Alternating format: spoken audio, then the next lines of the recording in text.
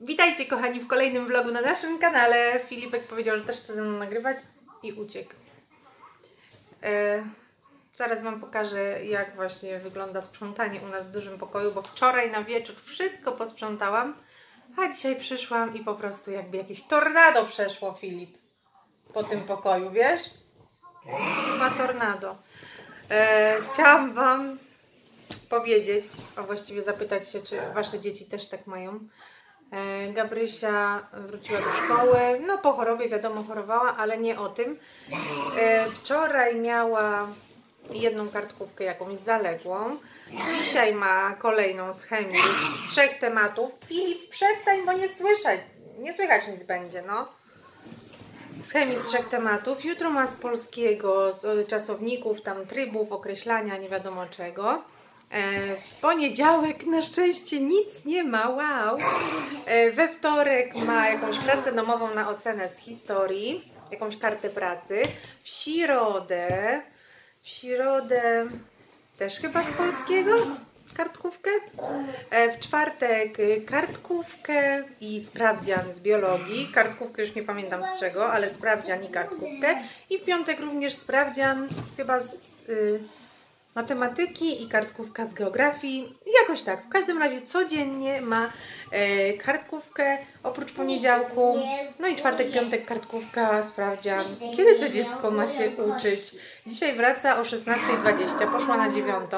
Wraca o 16.20 i na 17.30 idzie na zajęcia dodatkowe, których ja jej e, nie zabronię. No ma taką pasję, chodzi na, te, e, na tą gimnastykę artystyczną i no trzy razy w tygodniu to jest to, to prawda, ale e, no nie wiem po prostu kiedy dzieci mają mieć czas na jakieś pasje. Filipuś, proszę cię przestań, co? No nie mogę z wami pogadać, tak ryczy. Filip, uspokój się. Filipuś, proszę cię o coś? No widzicie, nie, tak to u nas wygląda. Słucham. Gdzie jest, gdzie jest ładowarka od... Od czołgu. Nie mam pojęcia. W tym bałaganie na pewno nie znajdziesz. Jak posprzątasz, może się znajdzie. E, Kiedy dziecko ma mieć czas na swoje pasje, tak naprawdę? Na odpoczynek, no bo wraca ze szkoły, powinno dziecko odpocząć, tak? Po tylu godzinach lekcji, coś zjeść. E, A ona wraca, szybko, szybko zje, nawet nie zdąży akurat dzisiaj odrobić lekcji, więc wraca po 20, koło pół do dziewiątej. Będzie musiała odrobić lekcję i się nauczyć na kartkówkę z polskiego, więc naprawdę źle to wygląda.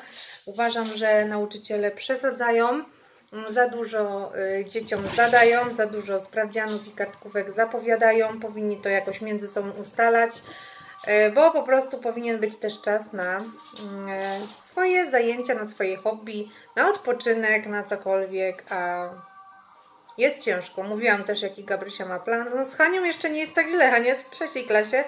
Przychodzi y, ze szkoły, odrabia lekcje, ale tego tyle nie ma i nie ma tyle sprawdzianów i kartkówek, a w tej siódmej klasie to powariowali chyba, naprawdę. Ja jestem załamana, szkoda mi jest Gabrysi bardzo, ale nie wiem, no co z tym zrobić. Nic się chyba nie da, a tak jak mówię, e, nie zabronię jej chodzić na gimnastykę, no bo to jest e, jej pasja, jej hobby. Więc tak, dzisiaj na szybko wpadłam do sklepu oddać kalosze Filipka, bo zamówiłam w Tejśmanie i przyszły z wadą, więc y, oddałam w sklepie stacjonarnym, a zamówiłam drugie, drugie na szczęście są ok. I przy okazji kupiłam jeszcze Filipkowi kurteczkę, spodenki i polar w H&M-ie. Może Wam pokażę na, na jesień już, tak? Buciki też y, kupiliśmy ostatnio, więc taki mini haul dla Filipka, e, bo powyrastał. Mm, Kurtkę jak kupiliśmy mu ostatnio, to chyba dwa lata temu, albo trzy nawet. Taką wiecie, trochę większą, ale chodził i chodził i chodził w tej kurtce i no teraz jest jeszcze na styk mógłby chodzić, ale już mówię, no nie, trzeba, trzeba jakąś już większą kupić. Także tyle, pokażę Wam ten mm, piękny porządek, właściwie bałagan. No zobaczcie, wczoraj na wieczór wszystko wysprzątałam, było pięknie, a przychodzę i po prostu jestem załamana, wszystko powywalane. Także no, fajnie. A jeszcze o jednej sprawie chciałam powiedzieć dotyczącej szkoły, e, bo generalnie dzieci mogą zostawiać książki e, w klasie. Nie muszą nosić, ale No jak mają nie nosić do domu książki, jak muszą się z niej uczyć? Więc generalnie Gabrysia powiedzmy ma biologię e, i e, za parę dni znowu ma biologię. No nie może tej książki zostawić, bo musi się nauczyć. No ona generalnie uczy się na bieżąco, tak? Bo jakby zostawiła sobie to wszystko przed sprawdzianem, nauczyć się całego działu, no to by nie ogarnęła, więc uczy się na bieżąco raczej. Zresztą nauczyciele też czasami pytają, tak? Albo robią te kartkówki zapowiedziane zazwyczaj, ale, ale mimo wszystko no to tą książkę bierze do domu. I tak jest ze wszystkimi książkami, więc no nie wiem, zabiera te książki do domu. Plecak ma strasznie ciężki. Strasznie, już nawet y, nie mieści się jej do plecaka, bo no nie ma takiego, wiecie, z trzema komorami. Zresztą pokażę Wam może, jaki ma plecak. No taki bardziej już młodzieżowy, tak? Mówi, że koleżanki i koledzy w klasie też nie noszą już takich wielkich plecaków. Więc do tego plecaka nie mieści się śniadaniówka. W łeb jakoś jeszcze upchnę, ale jest no naprawdę dramat i dzisiaj mówi, że ją bolą plecy od noszenia już tego plecaka z tymi książkami wszystkimi. E, no nie wiem, twierdzi, że koleżanki nie zabierają książek do domu, ale no to z czego się uczą w takim razie? W zeszycie nie ma też tego wszystkiego, nie ma tak dobrze tego opisanego jak w podręczniku, więc no ja jej mówię, żeby, żeby sobie zabierała te książki, nie, nie upieram się przy tym, ale no żeby nauczyć się na bieżąco, to nosi je w tom i z powrotem. Nie rozumiem jak e, dzieci mogą zostawiać książki. Z czego się uczą? O, może tak, z czego się uczą do kartkówek, czy, czy w ogóle do odpowiedzi. Może zapamiętują wszystko z lekcji? Nie wiem. E, no ale ona te książki nosi. Dajcie znać, jeżeli macie właśnie dziaki, jak to jest u Was z tymi sprawdzianami, kartkówkami, z noszeniem książek. No, u nas właśnie tak to wygląda i nie podoba mi się to, ale co mogę zrobić? Ja pamiętam, że jak ja chodziłam do szkoły, to tyle nie było sprawdzianów, kartkówek, jakoś ci nauczyciele tak lżej podchodzili do tego wszystkiego. Nie wiem, bardzo miło wspominam szkołę, a tu naprawdę Gabrysia jest, no często zdarza się, że, że wiecie, nie daje rady i, i już ma wszystkiego dość, ale wcale się, wcale się nie dziwię mm, temu dziecku. A ona taka jest, że no, no nie odpuści, tak? No bo wie, że jak nałapie złych ocen, to potem będzie problem, więc e, siedzi po nocach. To teraz Wam pokażę może takie zakupy jesienne dla Filipka. Nie wiem, co Ci pachnie. Takie kaloszki kupiliśmy. Fajne Fifi, prawda? Mhm. Bardzo mu się podobają. E, no, są spoko. Do czarnej kurtki, którą kupiliśmy, będą ok. Jeżeli chodzi o adidaski, to takie spumy zamówiliśmy za kostkę i też bardzo fajne. One nie były jakieś drogie. E, znaczy drogie, zależy dla kogo, tak? No ale 100 chyba 109, 113, nie pamiętam, promocja była jakaś w Sajzerze. Fajne na rzepy, więc w przedszkolu sobie poradzi. E, takie spodenki dzisiaj w H&M kupiłam. One były za 39,99 minus 30%, czyli tam chyba 27 zł. Fajne, dresowe takie. Mam nadzieję, że tu nie będą zbytnio szerokie, bo jak są dobre na długość, to niestety w pasie za szerokie i wiem, że dużo y, mam, mm, dużo rodziców ma z tym problem, że właśnie jak są dobre w pasie, to za krótkie, albo jak dobre na długość, to w pasie za za szerokie, no, ale mają sznureczki, tylko wiadomo, no dziecko sobie samo w przedszkolu nie zawiąże jeszcze sznureczków. E, taki polar, dinozaury, jak zobaczyłam, to e, no to musiałam wziąć na takie chłodniejsze dni pod kurtkę taką przejściową i on kosztował też 39,99, a w ogóle miałam 10% rabatu tam, wiecie, z, e, no dla klubowiczów. I kurteczka też z H&M zwykła, czarna za 59,99. Ja też chcę pokazać. Chcesz pokazać? Zademonstruj parasolkę swoją. Czekaj, tu trzeba odpiąć. Odepnij tu. O. Zademonstruj jeszcze parasolkę w Reserved. Taką mu kupiłam. Wcześniej miał taką w jakiejś liście. yy, Też taką fajną. Ale jak zobaczyłam tą w Reserved. Trzeba nacisnąć, pamiętasz? Wow! No i tu są takie, poczekaj, żebym pokazała, o takie dinozaury fajne, transparentne. I ona jest taka, wiecie, głęboka, więc fajna, leciutka, fajna, no automatyczna, bo naciska się guziczek i się rozkłada, więc fajna. A umiesz złożyć?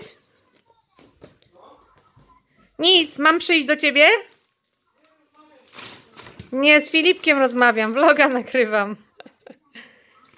O, udało się, żeby ci w oko nie strzeliło. Musi tam coś pstryknąć. No, to na razie tyle. Muszę zobaczyć jeszcze, czy ma czapeczkę i jakąś chusteczkę. Uważaj na oczy, jak to rozkładasz. E, no.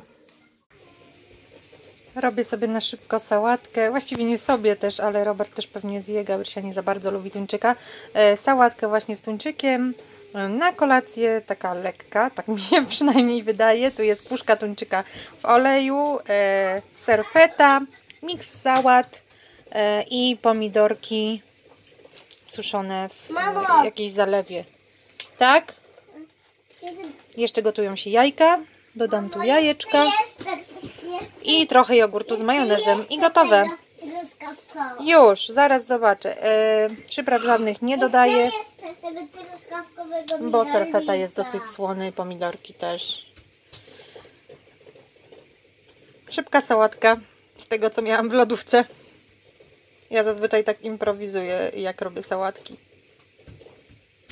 Jadę do Decathlonu wymienić Gabrysi spodenki na gimnastykę, bo zamawiałam czarne, a przyszły mi czarne w ogóle z innym wzorem i jeszcze z niebieskim takim paskiem. No, nie rozumiem tego. Zamawiam czarne, jest dostępne. Dlaczego oni wysyłają bez zapytania w ogóle inny model?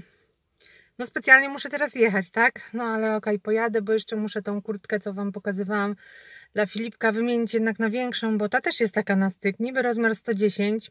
H&M ma zawyżoną rozmiarówkę, a 110 jest na 4-5 lat. Mm, No i ja się tak zastanawiałam, czy nie wziąć 110-116, bo też był taki rozmiar. Ale takie długie rękawy mi się wydawały, mówię, nie dobra, wezmę tą mniejszą. No i też muszę teraz wymienić, więc e, no więc jadę.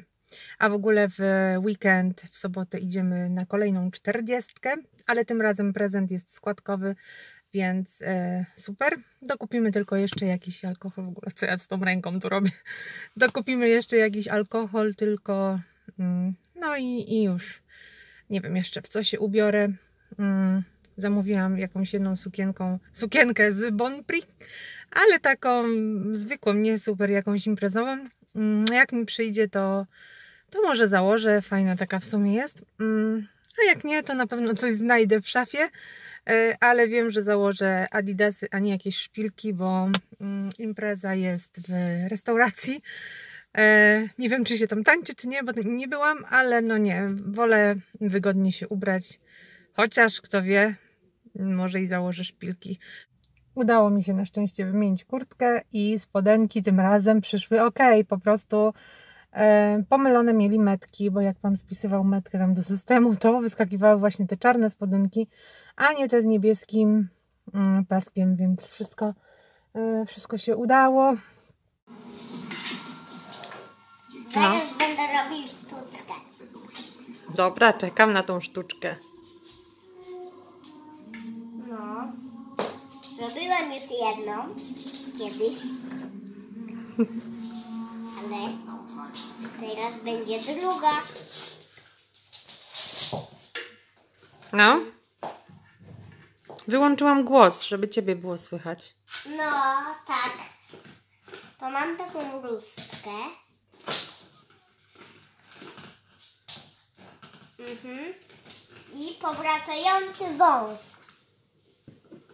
Cary, mary, hokus pokus. Jest wąs, tutaj pojawi się. Wow! Brawo! Świetna sztuczka! Brawo! A teraz umiesz taką sztuczkę, żeby ten wąż zniknął? Nie, nie wiem. Nie znasz takich takich zaklęć? Nie, nie znam takich zaklęć. Mhm. Oglądamy Krainę Lodu 2. Uwielbiam w ogóle tą bajkę, a Olafa najbardziej. Widzę światełko w tunelu. Czuj na marchew i wzrok. Mm, powracającym, znikającym autem. A po drugie trzeba... Co? Cylinder, no. Ten cylinder. Cylinder. Aha. Tak. No. To Jak się. Marek. I żeby tutaj auto zniknęło.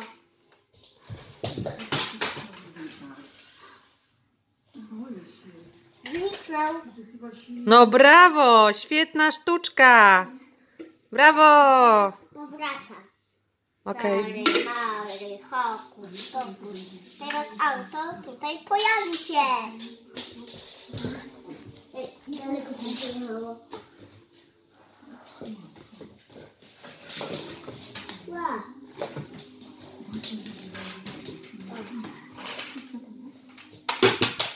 Oj, nie rzucaj. Brawo! Świetna sztuczka, brawo! Dziękuję, dziękuję.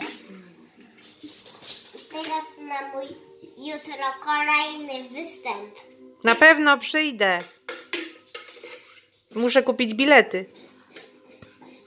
Ale jutro, jak będzie ranek, Okej. Witajcie kochani w sobotę. Mm, Czas szykować na imprezę. Idę zrobić sobie peeling, maseczkę, wykąpię się. Sukienka z Bonflix mi przyszła, jest bardzo fajna, ale pokażę Wam się później, jak nie zapomnę, jak będę miała czas. Ale chyba będę miała, bo na razie jest godzina druga po drugiej, więc chyba zdążę. No i tak się prezentuje. To jest ta sukienka z Bonprix. Tu ma taką falbankę. Ona jest taka fajna, elastyczna. E, rękawki takie. I tu jest szyta jakby co, fajnie. Nie ma za dużego dekoltów. Takie motylki. E, czarne, trochę beżowe, trochę białego. Także bardzo fajne. Mój makijaż taki też jest złoto-beżowy. A, nie mam jak pokazać, Boże. Zaraz zmienię kamerę, to pokażę. E, no, i tak wyglądam. Zegarek, jakieś pierścionki. Nie zdążyłam paznokci umalować. A i adidaski, bo nie chcę jakoś elegancko wyglądać, więc takie połączenie y, elegancji z wygodą. Nie, ja szpilki to naprawdę tylko na wesela i to później zdejmuję. E, biorę zawsze buty na zmianę. No więc ja wyglądam tak. Założyłam sobie jeszcze katanę taką dłuższą, jeansową, chociaż leję, ale wiecie, jedziemy samochodem i parasolkę biorę. A mój makijaż tak się prezentuje. Zmieniłam szminkę na czerwoną. No, okulary założyłam, bo ja jestem ślepa bez okularów. Powinnam cały czas chodzić w nich. I tu mam takie złoto-brązowe cienie. Nic specjalnego. Nie wiem, czy to widzicie.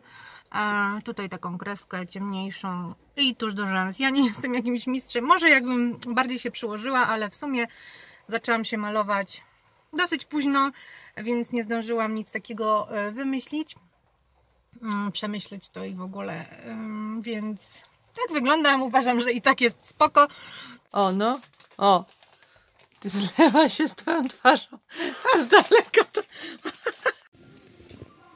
A dzisiaj domowa tortilla i zupa dyniowa, ale dzieci nie chcą zupy dyniowej, więc takie tortille zrobiłam. Kupiony placek, kurczak w przyprawie gyros i warzywka, sosik czosnkowy i tysiąca wysp. Pysznie i szybko. Niam, niam. bardzo pyszne. No, bardzo pyszne. A ja zjem zupę z dyniową. Sezon dyniowy rozpoczęty. Ja bardzo lubię dynię, ale nie marynowaną. Zupę dyniową bardzo lubię. O, i chyba spróbuję zrobić placuszki dyniowe, bo podobno też są dobre, ale jeszcze nigdy nie robiłam. Filipuś, takie na słodko mogą być dobre. A teraz będę się zajadać zupką dyniową. Tu jest e, jogurcik, no coś zielonego, nie miałam niestety bazylii, e, bo zmarniała. Płatki migdałów upróżone i posypane słodką papryką. Gotujcie sobie zupę dyniową, naprawdę jest pyszna, zupa krem. A możecie podać z różnymi z rzeczami, z grzanką. Właśnie, miałam sobie jeszcze tą szyneczkę. Mm, taką szyneczkę dojrzewającą, zrobić na takiego chipsa i tu wsadzić. Albo grzankę do tego zrobić, ale nie było dzisiaj bagietki. No więc zjadam tak.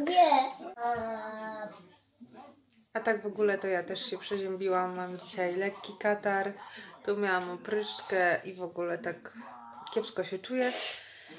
E, no, a dzieciaki już okej.